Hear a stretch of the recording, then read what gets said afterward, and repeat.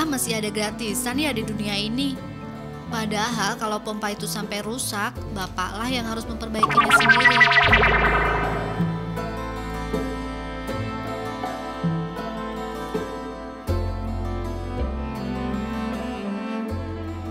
Aku di sini tinggal sama bapak sama ibu udah masuk hari ketiga. Dan selama aku tinggal di sini, aku melihat rumah ini belum layak untuk dijadikan tempat tinggal karena rumah ini belum sepenuhnya jadi. Tapi mau tinggal di mana lagi karena bapak sama ibu udah nggak ada tempat tinggal selain di sini. Sudah dua tahun bapak dan ibu menempati rumah ini. Dulunya mereka mengontrak, namun demi ingin mewujudkan impian memiliki rumah sendiri, maka mereka pindah ke sini. Jadi kalau uh, kita mau ke WC itu mesti ditutup pakai ini.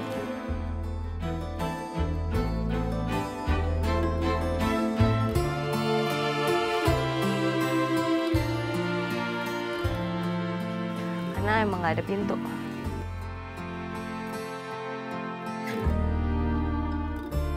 Beginilah kamar mandi bapak sama ibu yang ada di dalam rumah ini. Seperti yang kita lihat, cuman seperti inilah keadaannya dan sama kayak kamar mandinya di sebelah itu nggak ada pintu. Jadi kalau misalkan kita mau mandi,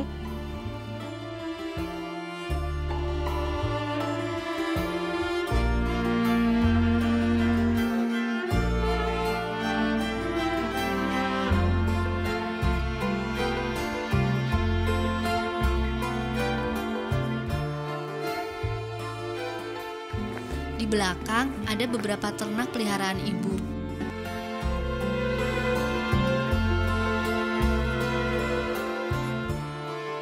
dulunya tuh ibu punya 30 ekor mentok.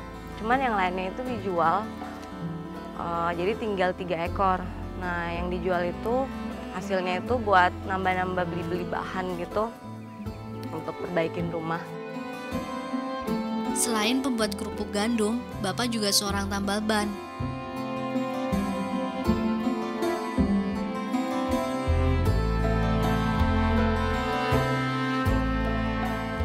Nggak minta bayaran pak? Enggak. Soalnya di kampung tuh kalau dimintai bayaran kasihan. Terus bapak mau dapat uang tambahan dari mana? Ya misalkan- dari mana aja ya enggak tahu. Paling dari tambalan tuh bayar. Kalau orang pinjam pompa ya enggak bayar. Tapi kalau orang nembel bayar. Tapi kan lumayan pak kalau misalkan satu hari misalnya ada orang yang 10 Ya. 10 10 orang pompa ban. Ya mestinya begitu. Tapi ya gimana lagi ya. Kalau pompanya memang pompa begitu memang nggak bayar. Tapi kalau pompa pakai mesin Eyalah masih ada gratisan ya di dunia ini. Padahal kalau pompa itu sampai rusak, bapaklah yang harus memperbaikinya sendiri, bukan orang-orang yang meminjam. Nah, mungkin peruntungan bapak berubah hari ini. Kelihatannya ada orang mau nambal ban nih. Oh ya, enggak enggak enggak jadi nembel. Pinjam pompa lagi.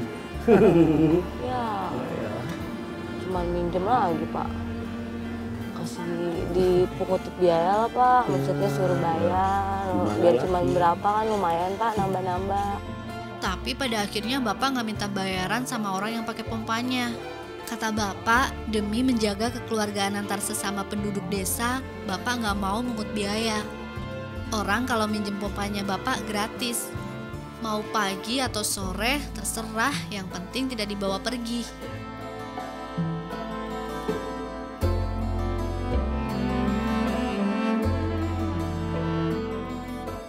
Bisa bayangin gak sih kalau tiap hari bapak setiap harinya mesti nambal ban, terus habis itu nunggu orang yang mau pompa, itu pun gratis. Terus habis itu mesti panas-panasan begini. Aku aja baru berapa menit di sini udah keringetnya minta ampun. Panas. Udah, jangan ngeluh terus, malu sama bapak. Masih harus bantu bapak juga nih. Ada yang mau nambal ban. Untuk ngecek bocornya pakai air kayak gini nih. Nah, kalau bannya udah lulus tes bocor, baru udah dipompa. Ya, dipompa. Pompa ya Pak? Ya, ya. Hmm. Kuat nggak? Terus, Pas orang ini cuma ngeliat pompa naik turun naik turun. Ternyata ini mesti ditahan kakinya. Pompa bannya mesti ditahan. Hmm. Terus habis itu kita mom- sambil mompa begini biar pompa, pompa alat pompanya itu nggak ke mana nggak ke mana-mana. Udah selesai nih mompanya. Eits, tapi belum kelar kerjaannya. Masih harus masukin ban ke bagian ban sepeda. Untuk nambah ban sepeda, perbannya Bapak matok harga Rp3.000.